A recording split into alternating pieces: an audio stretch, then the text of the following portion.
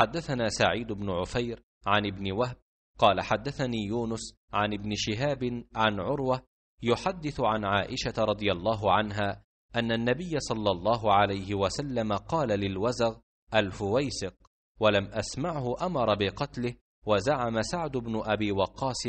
أن النبي صلى الله عليه وسلم أمر بقتله.